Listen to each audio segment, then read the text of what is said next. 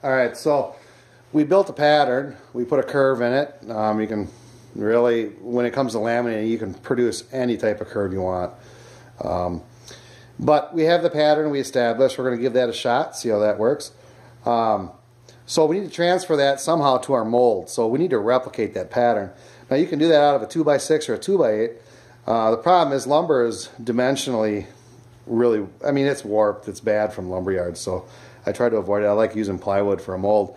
In the bowl business, we use CNC machined aluminum molds. So, uh, but you can definitely use plywood. I've used them for bows and it works phenomenal. So uh, our mold is going to be about two inches wide. So I cut a bunch of strips that are laying next to here, okay? They're all the same size. We're going to hold the pattern up, okay? We're going to square that up. We're going to draw a line.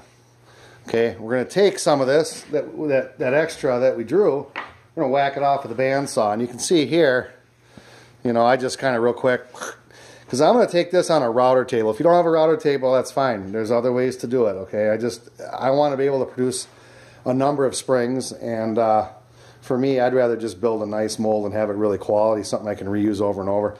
So that's the route I'm taking, okay? But once I have this kind of rough cut, this is going to sit on top. Now, what helps us later, we're gonna, we're gonna have to align all these pieces up. So I basically took a square, okay, and I made an index mark here and here. So when I go to line all these pieces up, I can align those marks, okay?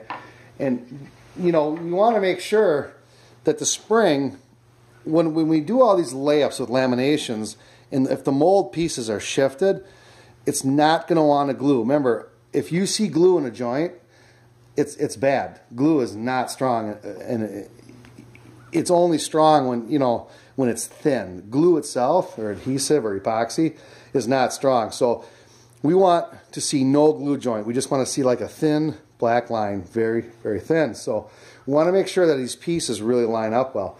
So I'm going to take this pattern. My bearing's on the bottom, so I'm going to put this on the bottom. I'm going to line up one edge. Okay.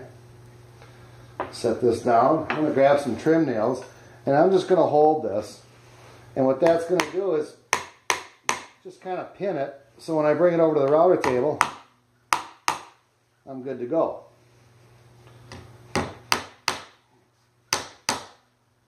Okay. So this pattern is going to get routed right out. It's going to ride along that bearing. It's going to, I'm just going to start uh, going through pieces. I got a whole stack to do. Okay, but I'm only working on the, the lower portion of the mold. The upper is a whole different ball game. We're going to get into that after. So I'm going to take this to the router table and see what we can't do.